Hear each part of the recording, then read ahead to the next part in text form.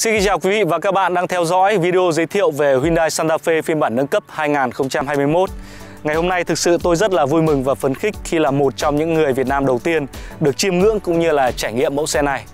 Quý vị theo dõi trên truyền thông vừa qua có thể thấy được sức nóng, sức hấp dẫn của mẫu xe này khi cả thị trường dường như đang thấp thỏm chờ đợi về sự xuất hiện chính thức của một mẫu xe tràn ngập những điều mới mẻ, những công nghệ tối tân hàng đầu trong phân khúc. Và ngay sau đây chúng ta hãy cùng tìm hiểu xem mẫu xe này có điểm gì mới và cùng đi tìm lời giải về sự thành công của Hyundai Santa Fe trong suốt thời gian vừa qua. Xin kính mời quý vị.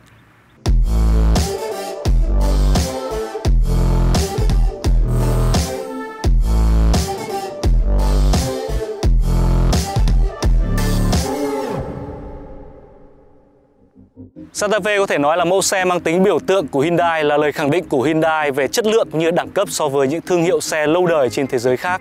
Còn tại Việt Nam, Santa Fe đã thay đổi rất là nhiều những quan niệm của khách hàng về một thương hiệu xe Hàn Quốc.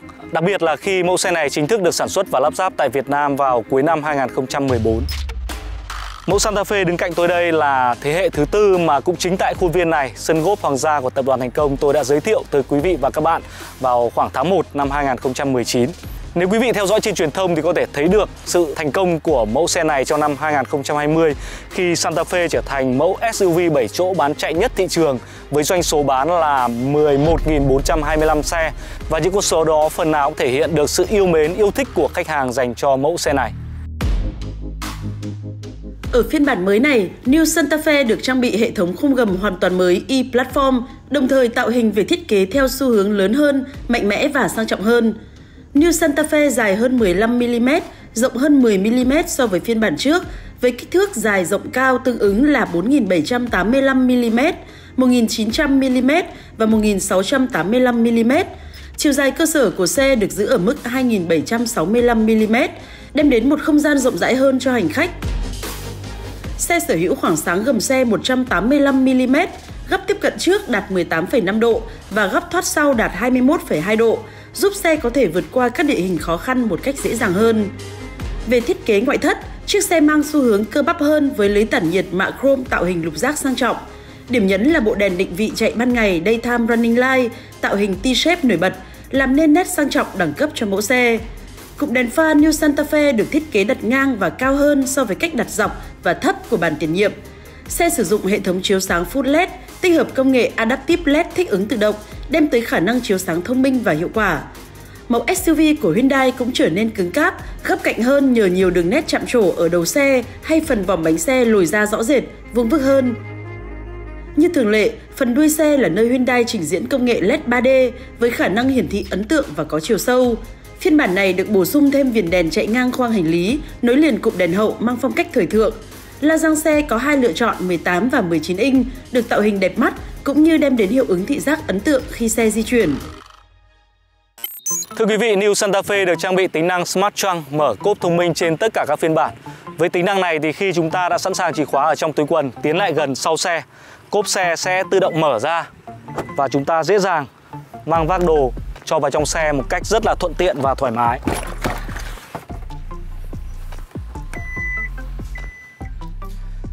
Cũng với chìa khóa thông minh này, chúng ta có thể khởi động xe từ xa bằng cách giữ nút hâu ở trên chìa khóa.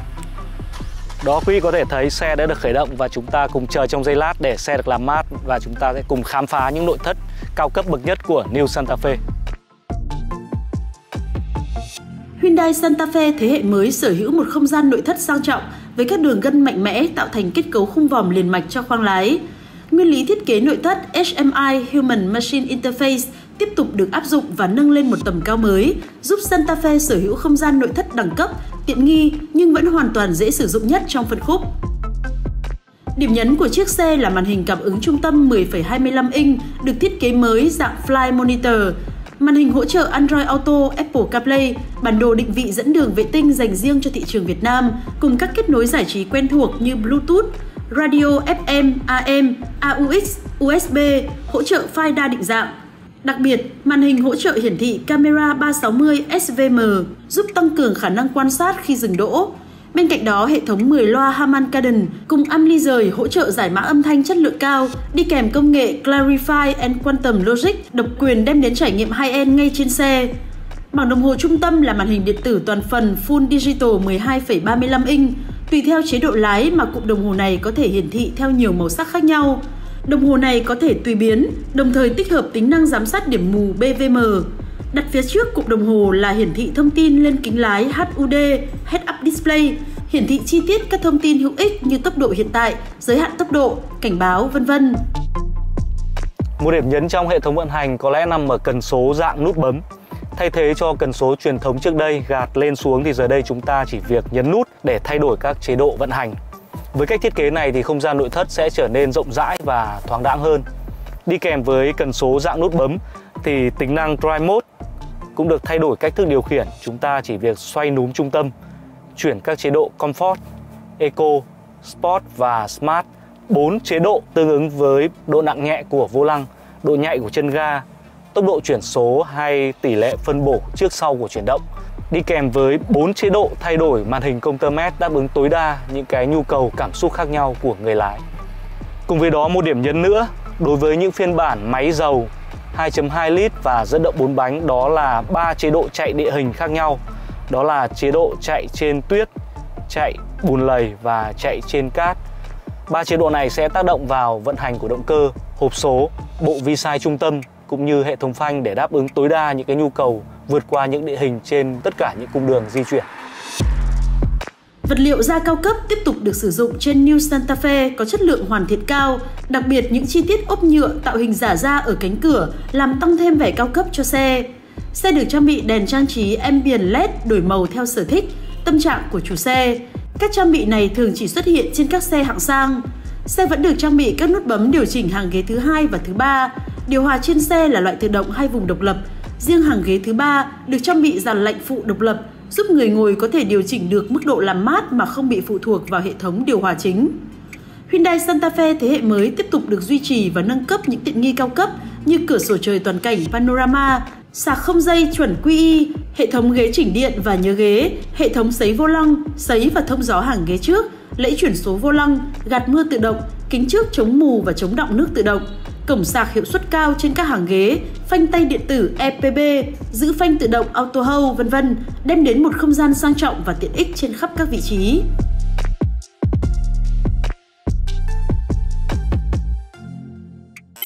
Thưa quý vị, cũng như các phiên bản trước thì New Santa Fe được Hyundai đưa vào hai lựa chọn động cơ là động cơ xăng và động cơ dầu. Ở đây là động cơ xăng 2.5 lít Smart Trim Theta 3 cho công suất cực đại lên tới 180 mã lực tại vòng tua 6.000 vòng trên phút và mô men xoắn cực đại là 232 Nm. Một vài điểm mới trên động cơ này chính là việc Hyundai đã giảm trọng lượng xuống 18 kg so với động cơ 2.4 trước đây. Bên cạnh đó thì tỷ số nén của động cơ cũng được giảm từ 11,3 xuống 10,5. Đi kèm với động cơ này là hộp số tự động 6 cấp Chiptronic với rất nhiều những cải tiến mang đến một cái khả năng vận hành mượt mà, êm ái cũng như là tiết kiệm nhiên liệu. Và lựa chọn thứ hai là động cơ dầu 2.2 lít Smart Trim. Động cơ này cho công suất cực đại lên tới 202 mã lực cũng như mô men xoắn cực đại là 441 Nm. Thoạt nhìn những thông số vừa rồi chúng ta có thể lầm tưởng đây là động cơ trên phiên bản trước. Tuy nhiên thì có rất là nhiều điểm mới trên động cơ này. Chúng ta có thể kể đến là dung tích của động cơ đã được giảm bớt 46cc. Cùng với đó là khối lượng của động cơ đã được giảm thêm 38 kg nhờ vào việc thân máy được làm bằng gang graphite cũng như là nắp máy được làm bằng nhôm cường lực. Bên cạnh đó với việc tối ưu hệ thống trục cam đã giúp cho Santa Fe giảm được độ rung, độ ồn cũng như là tăng cường cái khả năng tiết kiệm nhiên liệu. Đi kèm với động cơ 2.2 lít Smart Trim này là hộp số tự động 8 cấp ly hợp kép ướt với khả năng tăng cường độ xoắn thêm 58%, giúp cho động cơ cũng như hộp số vận hành bền bỉ và mượt mà hơn. Như vậy với hai động cơ Smart Trim mới cũng như hệ thống truyền động đã được tối ưu, tôi tin tưởng rằng New Santa Fe sẽ mang đến những trải nghiệm mới, những khoảng thời gian thực sự thú vị và hấp dẫn sau vô lăng trên tất cả những hành trình trải nghiệm và khám phá của quý vị.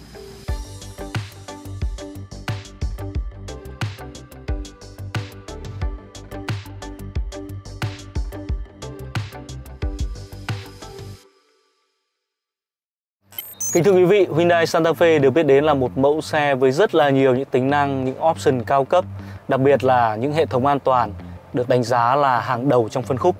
Thì với New Santa Fe chắc hẳn khách hàng sẽ phải mất rất là nhiều thời gian để có thể nhớ, để có thể trải nghiệm được tất cả những tính năng này. Hyundai Santa Fe phiên bản mới tiếp tục được duy trì các công nghệ an toàn vượt trội.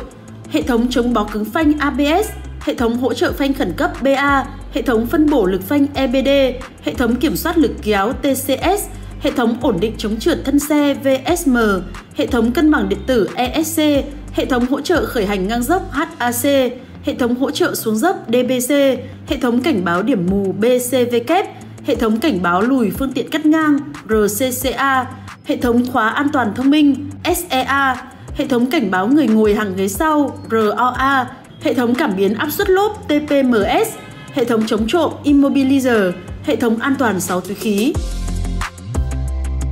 Đáng chú ý, trên New Santa Fe chính là gói công nghệ an toàn Smart Sense với nhiều tính năng mới. Hệ thống hỗ trợ giữ làn đường LFA. LFA sử dụng camera quan sát phía trước, từ các dữ liệu thu thập được sẽ tác động đến vô lăng, giúp xe giữ đúng làn vận hành, tránh gây nguy hiểm đến các phương tiện xung quanh. Đèn pha thích ứng Adaptive High Beam AHB với công nghệ này, nhờ sử dụng hệ thống camera quét liên tục khi xe đang bật chế độ pha và di chuyển gặp xe chạy ngược chiều, đèn sẽ tự động hạ thấp vùng sáng, tránh gây chói mắt cho phương tiện. Khi xe ngược chiều đi qua, đèn pha sẽ tự động bật trở lại, tăng cường khả năng chiếu sáng cho xe. Hệ thống giám sát và phòng tránh va chạm điểm mù BVM và BCA. Hệ thống này là sự nâng cấp và bổ sung cho cảnh báo điểm mù BCVK. Bên cạnh radar, hệ thống này sử dụng hai camera góc rộng để nâng tầm quan sát cho lái xe. Khi người lái bật xi nhan để rẽ hoặc vượt, hình ảnh điểm mù phía xi nhan sẽ hiển thị ở trên màn hình ô đô của xe, giúp phát hiện vật thể tránh va chạm. Trong trường hợp cần thiết, BCA sẽ can thiệp để xe có thể phanh để tránh nguy hiểm. Hệ thống phòng tránh va chạm với người đi bộ. Hệ thống này hoạt động camera gắn ở phía trước xe. Khi hoạt động, hệ thống sẽ nhận dạng người đi bộ và nếu người đi bộ nằm trong phạm vi nguy hiểm, hệ thống sẽ cảnh báo và có tác động đến hệ thống phanh để giảm tốc độ, tránh va chạm. Hệ thống này hoạt động khi xe di chuyển trên 20 km/h và dưới 64 km/h. Hệ thống hỗ trợ đỗ phanh chủ động. Khi xe đang trong trạng thái di chuyển, người lái có tác động đến phanh khiến xe dừng hẳn và mở cửa bước ra ngoài mà chưa chuyển sang chế độ số P. Hộp số điện tử sẽ tự can thiệp đưa xe về trạng thái đỗ xe và tự động cài phanh tay điện tử.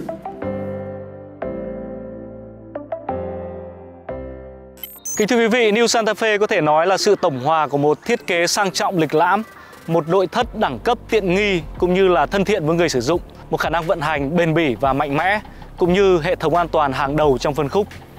New Santa Fe được sản xuất và phân phối tại Việt Nam với 6 phiên bản khác nhau cũng như 6 màu sắc bao gồm đen, trắng, đỏ, bạc, vàng cát và xanh nước biển. Tất cả các phiên bản đều được bảo hành 5 năm hoặc 100.000 km tùy theo chế độ nào đến trước. Hiện tại tất cả các phiên bản đều có mặt ở trên hệ thống đại lý Hyundai trên cả nước để sẵn sàng chào đón toàn thể quý vị đến xem và trải nghiệm. Xin chúc quý vị có những khoảng thời gian thực sự thú vị cùng New Santa Fe, cũng như lựa chọn được cho bản thân một mẫu xe phù hợp với công việc cũng như là gia đình. Xin chào và hẹn gặp lại.